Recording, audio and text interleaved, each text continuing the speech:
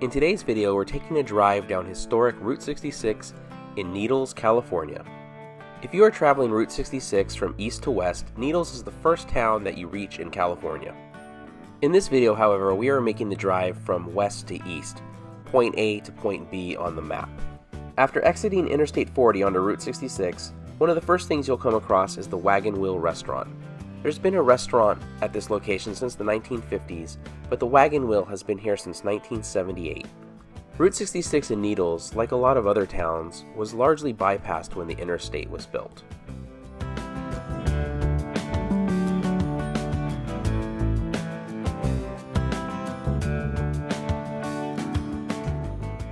Since this section was right off the interstate, we found a lot of chain motels and gas stations, but we also found something pretty unexpected that was really cool.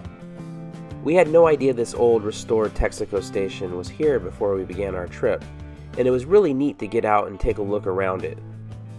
Unfortunately, I wasn't able to find a lot of information on the station, so if anybody knows anything about it, the history, who's restoring it, if it's ever open, uh, please let me know in the comments. I would love to go back there and take another look at it in the future.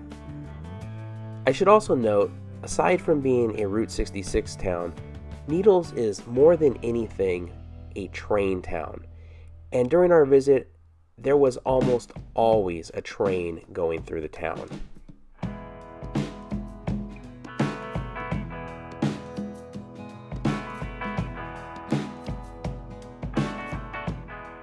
As we move further from the interstate, the road begins to look more like the Route 66 we're used to. You start to see a lot more mom and pop motels and a lot more classic signage.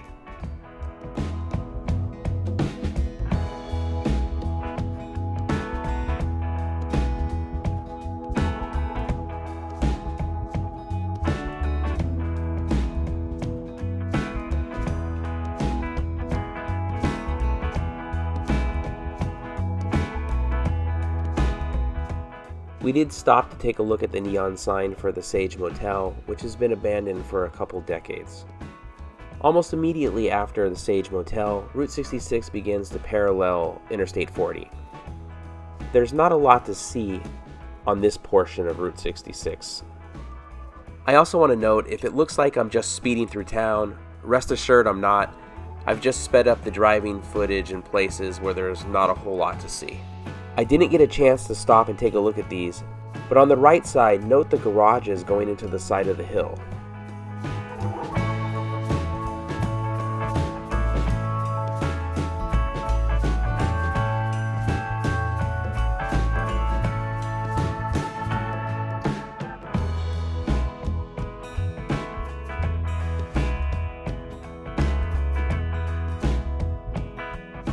Now we are approaching downtown Needles, which has a few things to see, so it's a good place to park your car, get out, and walk around. The downtown area is not very big, so everything is pretty close together.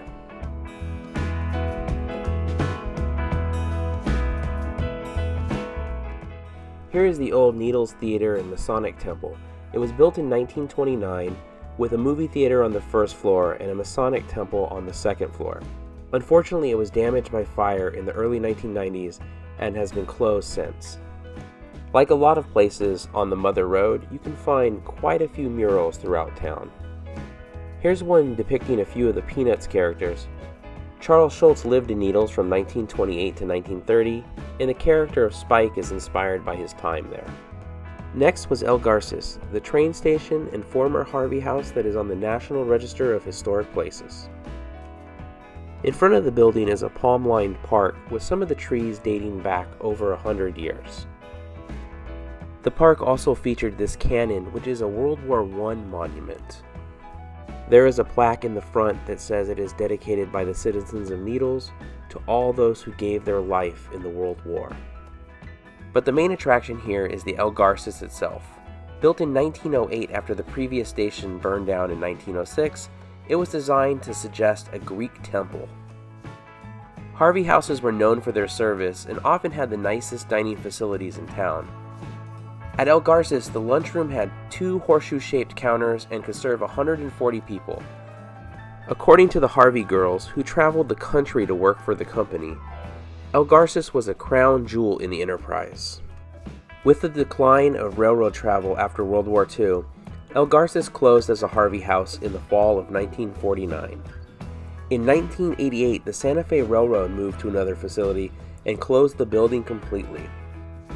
The building faced destruction until a local group formed in 1993 as the Friends of El Garces. The group petitioned the City of Needles to purchase the station, and that effort succeeded in 1999. In 2002, the National Park Service recognized the building's significance and placed it on the National Register of Historic Places. The building still acts as a train station to this day, as Amtrak stops there nightly. Across the street from El Garces was a Route 66 museum in this old Penney's building, which was unfortunately closed on our visit.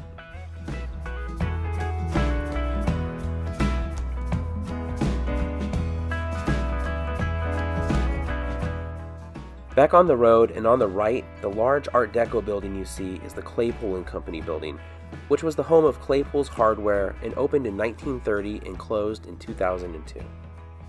It was at one point the largest building in downtown Needles.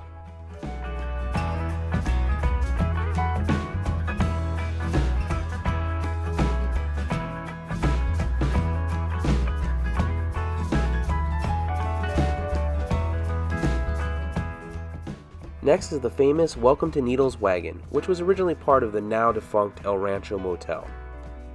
If you would have visited Needles in the 1950s, the wagon would have been painted white and used to say El Rancho Needles, cooled by refrigeration, swimming pool, room phones.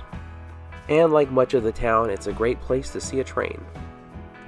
Also next to the wagon is this cool 1923 Daughters of the American Revolution National Old Trails plaque. Back on the road and driving alongside the train, we'll be making one last stop on Route 66 in Needles.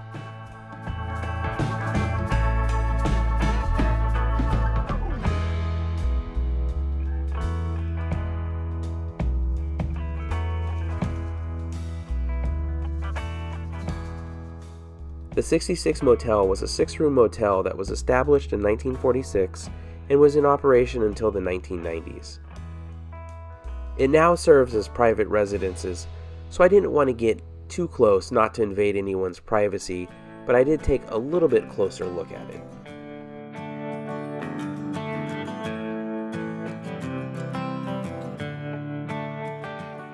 Immediately next to the 66 Motel is Carty's Camp, which opened in 1923 as Bill Carty and Dick Mansker's campground and service station. You can actually see the sign for Carty's Camp in the 1940 film The Grapes of Wrath. camp offered things like cabins for those early travelers to sleep, groceries, gas, and they even had a cafe. And of course, it's another great place in Needles if you want to watch the trains go by. And that's the end of our look at Route 66 in Needles, California. Thank you for watching. If you enjoyed the video, please give it a thumbs up, consider subscribing, and we'll see you next week.